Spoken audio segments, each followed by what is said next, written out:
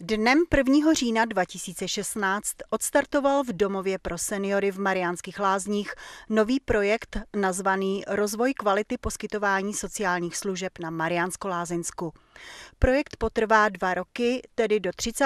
září 2018. V prvé řadě se jedná o pozici manažer kvality, jehož úkolem je komplexní revize všech standardů kvality, pracovních postupů, vnitřních předpisů a vlastně veškeré interní legislativy, která přímo souvisí nebo se odráží potom v praxi při poskytování sociálních služeb. Projekt je dotován z Evropského sociálního fondu ve výši přibližně 3 milionů korun. Další směr, kterým se projekt ubírá, je pozice metodika sdílené péče.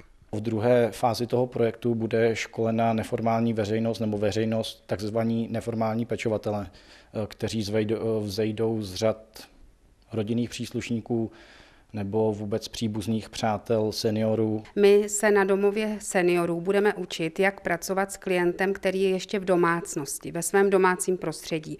To je vlastně současná sociální politika státu. Jde o to, co nejdéle prodloužit pobyt seniora v jeho přirozeném prostředí za podpory terénních a ambulantních služeb prostřednictvím tady té spolupráce, prostřednictvím součinnosti rodiny a už opravdu poskytovatele sociální služby zajistit to, aby klient mohl zůstat co nejdéle doma. E, pokud se to podaří až do konce života, anebo odsunout nástup do jiného pobytového zařízení.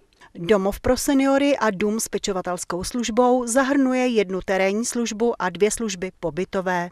A právě na domově pro seniory se veřejnost bude učit, jak se svým domácím seniorem nebo s klientem pracovat. Školení veřejnosti bude postupně provádět odborný personál jak používat pomůcky pro své seniory, jaké metody používat při přesunu třeba z lůžka ke stolu nebo na invalidní vozík. Cílem projektu je zavést nová udržitelná řešení a netradiční přístup za účelem zkvalitnit život uživatelům služby rozvojem sdílené péče.